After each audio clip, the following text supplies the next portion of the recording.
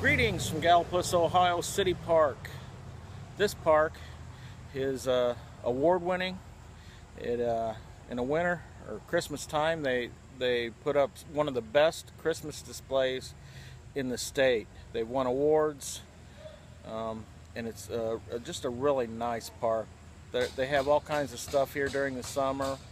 Um, Friday nights, every every Friday night in the summer, um, almost they have uh, what do they call it? Gospel in the park.